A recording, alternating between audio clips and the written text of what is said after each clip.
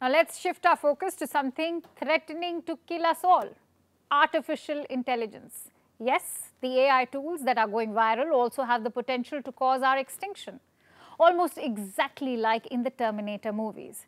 And we aren't the ones saying this. It's the people who created the tools. There's a letter released by AI developers and experts yesterday. It says, and I quote, Mitigating the risk of extinction from AI should be a global priority alongside other societal scale risks such as pandemics and nuclear war. And so, they are comparing AI to pandemics and nuclear war. Let's look at who signed it.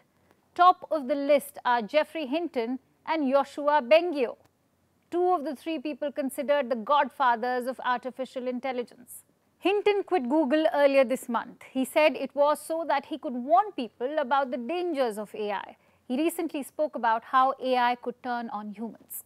If you want to go to Europe, you create the sub goal of get to the airport, and then you solve that sub goal.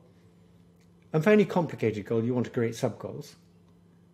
And it turns out here's a very good sub goal for almost anything you want to do um, get more control. If you get more control, it makes it easier to achieve other things.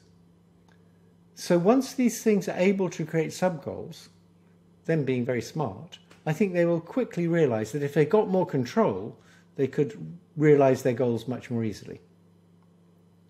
And once they want to get control, things start looking bad for people. So if you're a skilled manipulator, and these things will be extremely skilled manipulators because they'll have learned from all the manipulations people ever did. So they'll be much better than a person at manipulating us they'll be able to manipulate us into doing whatever they want. It'll be like you manipulating a two-year-old. So they don't need to pull levers or press buttons. The idea of air gapping them and everything will be okay isn't going to work. Then there are the CEOs of the leading AI firms, Google, DeepMind, Anthropic and OpenAI.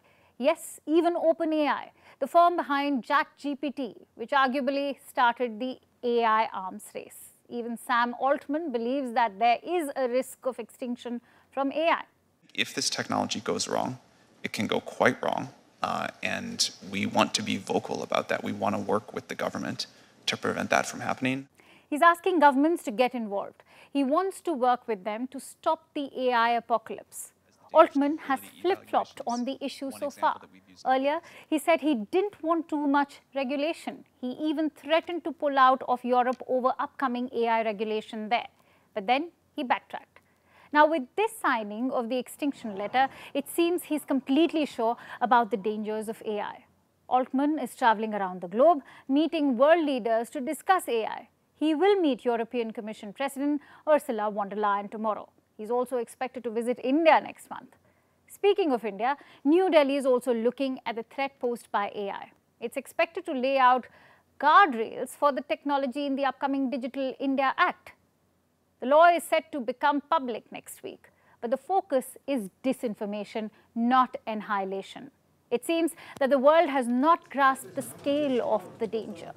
Politicians seem more focused on how AI can peddle disinformation how it can cause problems in upcoming elections, which is also valid. It's already started in the US with AI-generated deepfake videos doing the rounds.